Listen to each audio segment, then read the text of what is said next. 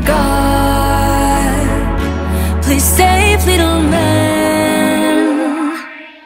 Look at these.